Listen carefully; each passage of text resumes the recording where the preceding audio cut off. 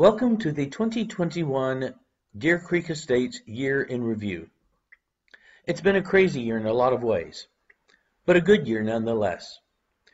One of the first things that we did last year after our annual meeting was launch a Halloween decorating contest. That went over so well that we have decided to repeat it again. So this year, if you want to be included in the contest, make sure and let us know. Get out your ghouls and your goblins and decorate your whole house. We look forward to seeing it. Last year, we also had a Christmas lighting contest. We plan to repeat that as well this year. So deck the halls, get out your ladders, and get out your lights. We look forward to seeing our whole neighborhood lit up for the holidays. We had a Christmas party last year, but because of COVID, we were concerned about having it indoors. Instead, we did a food drive.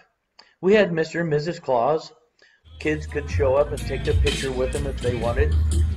And then people could drive by and donate canned goods. We collected over a thousand cans of produce that we delivered to local charities. It was awesome and it was much appreciated. Then it began to snow.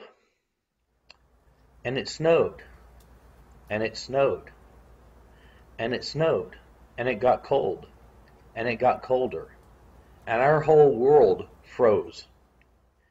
The Deer Creek Pond froze over. Who would have ever imagined you could walk out on the Deer Creek Pond? It was amazing. Seemed like it went on forever.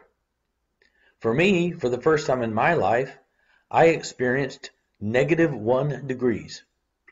For the record, I stayed out in it for five minutes. It was just a crazy time. Well, eventually things thawed out, and we had an Easter party, and it was fantastic.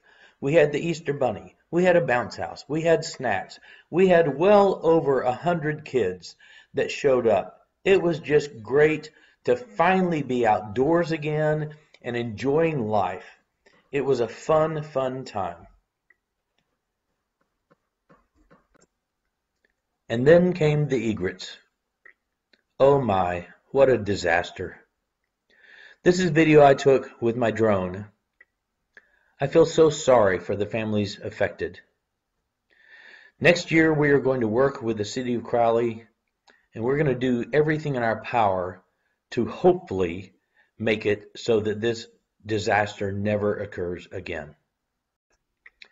In spite of these trials, your board continued to work for you. Over the years, as we have had new laws and new regulations and new restrictions, we have put up new signs each time to reflect whatever the new law was. Well, it ended up that we had a million different signs everywhere. This year we took all of those down and we replaced them all with signs that look uniform and reflect only the current laws and the current regulations, and it just looks so much better to have uniformity in those signs. We also replaced the trash cans. They were just old and rusted and looked bad. So we took them all out and put in all new trash cans for our community. Next, we added more sand to the volleyball courts.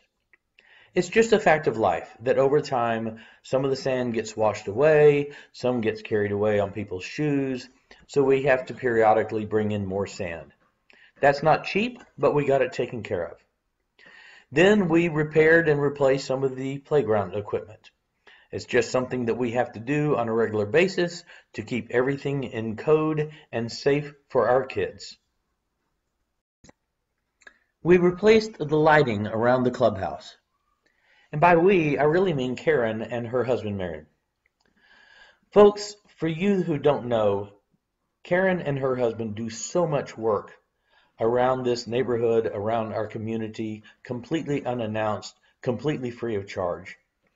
I really don't think there's a week that goes by that they are not taking on some project for us. They do it completely free of charge. They do it completely unannounced. They have saved us so many thousands of dollars by the work that they do. We really owe them an entire debt of gratitude for everything that they do for us.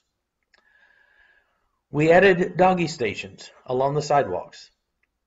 Speaking of the sidewalks, we took on two huge projects this year. We built the new sidewalk that connects the big loop over to the bridge that goes over the culvert and on over to the cul-de-sac. This is something we have talked about for years. It's something that was promised years ago, and this year we finally got it done. This was a major undertaking. It took a lot of work and planning to make this happen. But now it's done. I can't tell you how many times I have seen neighbors walking across the bridge, having conversations with each other, enjoying the time that they can now walk the entire neighborhood and not have to go through the grass to get over the bridge and not have to go through the mud during watery times. This is something we are very proud of. Last and absolutely not least, we took on the redesign of the clubhouse. I realize this picture is getting blurry right now because I'm not good at making these kinds of videos. but this is what the clubhouse looked like before. It was white, it was barren, the furniture was 30 years old. This is what it looks like now. Craig is the one who took this on. Craig is the one who did an amazing job. He chose the furniture. He chose the colors. He arranged for the contractors. He did everything. He really turned this clubhouse into what is now the talk of Crowley. Everyone who sees this clubhouse is envious of our neighborhood. We redid the landscaping as well.